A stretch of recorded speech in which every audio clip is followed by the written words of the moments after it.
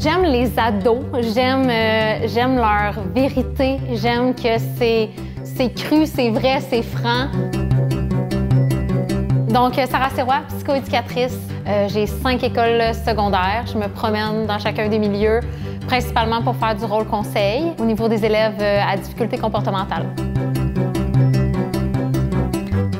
Donc, c'est d'être capable de créer des liens significatifs avec mes élèves pour être capable de, après ça, utiliser des techniques, des projets, des programmes, des choses comme ça qui vont faire en sorte que l'élève va être capable de cheminer puis va vouloir embarquer dans ce que je lui propose pour être capable de terminer leur année puis au moins de la réussir ou de s'améliorer au niveau comportemental.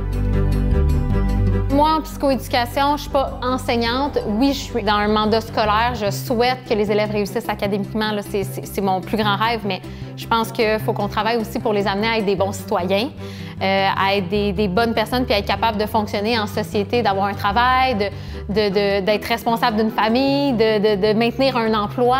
Des fois, c'est juste qu'ils croient pas en eux.